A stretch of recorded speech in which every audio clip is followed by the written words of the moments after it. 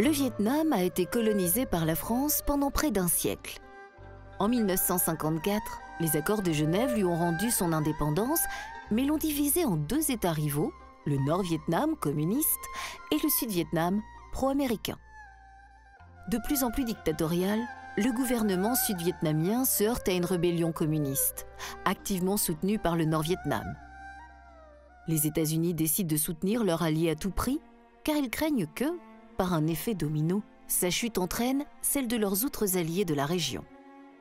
Le président Johnson, qui a succédé à Kennedy, prend prétexte d'un incident dans le golfe du Tonkin pour lancer des raids aériens massifs sur le Nord-Vietnam.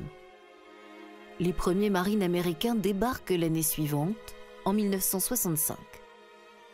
Ils sont bientôt plus de 500 000, sans compter les contingents australiens ou encore sud-coréens. Les pays voisins, le Cambodge et le Laos, sont à leur tour entraînés dans la guerre. À partir de 1968, année charnière, l'enlisement occidental et la contre-offensive communiste suscitent une violente opposition dans les campus américains et européens.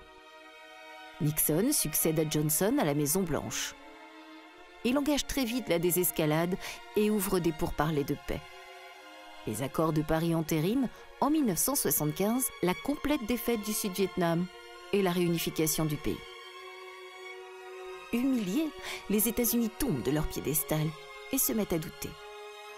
Un nouveau monde commence.